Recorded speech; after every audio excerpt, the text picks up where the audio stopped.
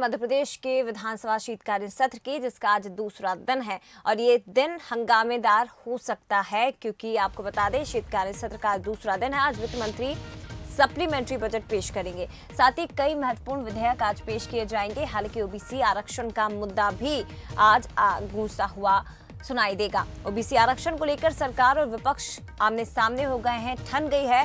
कांग्रेस इस मुद्दे पर स्थगन प्रस्ताव लेकर आएगी। तो विधानसभा के शीतकालीन सत्र का दूसरा दिन है, हंगामेदार ये दिन रह सकता है।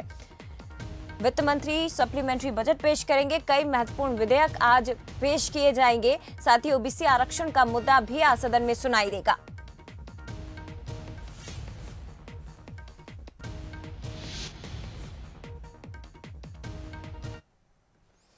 और वहीं दूसरी तरफ़ पूर्व सीएम कमलनाथ ने ओबीसी आरक्षण को लेकर एक महत्वपूर्ण बैठक बुलाई है। सदन की कार्यवाही से पहले ये बैठक बुलाई गई है।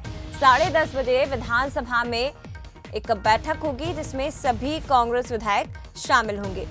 तो ओबीसी आरक्षण को लेकर पीसीसी चीफ कमलनाथ ने महत्वपूर्ण बैठक बुलाई है। सुबह साढ़े दस बजे विधानसभा में ये बैठक होगी। सदन की कार्यवाही शुरू होने से पहले कांग्रेस के सभी विधायक इस बैठक में शामिल होंगे, जिसमें ओबीसी आरक्षण को लेकर चर्चा की जाएगी।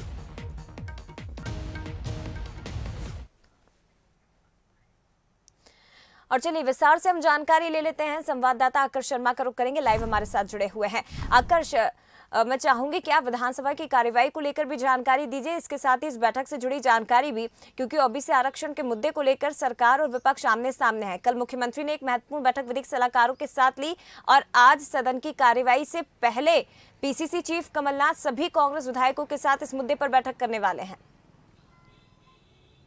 जी आज का शीतकालीन जो सत्र का दूसरा दिन है, काफ़ी हंगामेदार रहने की पूरी संभावना है। यदि मैं पहले पूरे सत्र की बात करूँ तो सबसे पहले आज सत्र में जो अनुपूरक बजट है, वो पास किया जाएगा। उसके बाद जो पाँच विधेयक हैं, जो पत्थरबाजों के खिलाफ हो, जो लोग धरना प्रदर्शन करते हैं और सरकारी संपत्ति, उसमें क्षतिग्रस्त होती है, निजी संपत्ति क्षतिग्रस्त होती है, उसको लेकर मध्य प्रदेश सरकार एक कानून लेकर आने वाली है। और इसी के साथ चार और कानून हैं। टोटल पाँच आज जो विधेयक हैं, उनको पास किया जाएगा। इसके बाद जो है स्थगन प्रस्ताव, हमने देखा था कि कल मंत्रणा समिति की जब बैठक हुई थी तो इस पर सहमति बनी थी कि पाँचों दिन जो है सुचारू रूप से विधानसभा सत्र चले। जनता से जुड़े हुए मुद्दों पर ज़्यादा से ज़्यादा बात हो, जनहित के मुद्दों पर ज़्यादा से ज़्यादा बात हो, इस पर सहमति बनी थी। इसके साथ ही कांग्रेस ने स्पष्ट कर दिया था कि वो स्थगन प्रस्ताव लाएगी, क्योंकि ओबीसी के मामले पर वो अलग से चर्चा करना चाहती है अन्य मुद्दों के अलावा। यही कारण है कि हम देखेंगे जैसे अनुपूरक बजट पास होगा और पाँचों विधेयक पास किए जाएँगे, उसके बाद स्थगन प्रस्ताव कांग्रेस लाकर अन्य मुद्दों को छोड़कर सिर्फ़ ओबीसी पर बात करना चाहेगी। और इसी को लेकर दोनों ही पार्टी जब से हम देख रहे हैं, बीते तीन से चार दिन हुए हैं, सुप्रीम कोर्ट का आदेश आया जब से दोनों ही पार्टियाँ, मुख्य पार्टी सत्ताधारी पार्टी हो या विपक्ष हो, दोनों ही एक दूसरे पर आरोप लगा रही हैं, जहाँ कांग्रेस का कहना है कि सरकार ने सही तरीके से पक्ष नहीं रखा सुप्रीम कोर्ट में। यही कारण है कि ओबीसी का आरक्षण जो है सुप्रीम कोर्ट ने वो फैसला बदल दिया। वहीं बीजेपी का कहना है कि कांग्रेस जो है ओबीसी वाले मामले जब पंचायत चुनाव का मामला कोर्ट में लेके गई, यही कारण है कि ओबीसी का आरक्षण जो है, वो निरस्त हो गया।